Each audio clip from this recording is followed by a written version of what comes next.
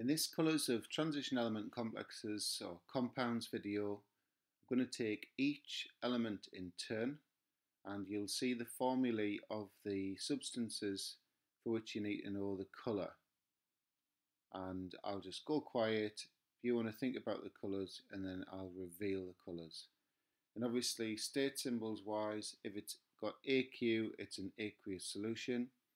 And if it's got an S, it's a solid precipitate. So we'll start with titanium.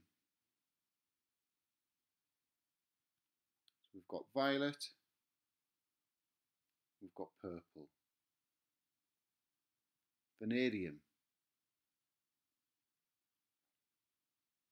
It's got violet, green, blue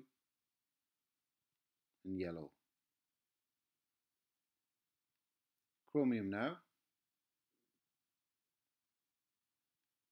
So this one's violet. You can see a little star there, so there's a little bit extra to say about this one. So the true colour of the complex CrH2O6 plus is violet. However, when it's in solution, it often looks green because it forms what's called mixed complexes. So what happens is there are other ligands in there and they replace some of these water ligands.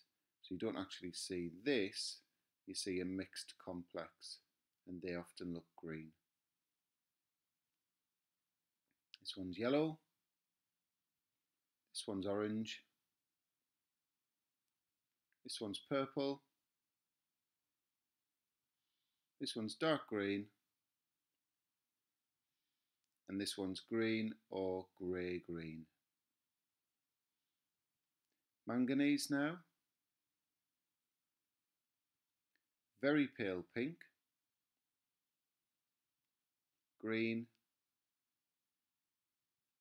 purple,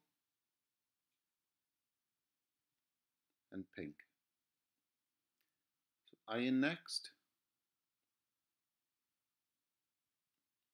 green, yellow, green again, and orange. Just one cobalt one to know, and this one is pink. And just one nickel complex as well, and this one's green. So we'll finish with copper. We've got blue or pale blue, blue or pale blue again. We've got to say something like deep blue for this one, dark blue, and the last one's yellow.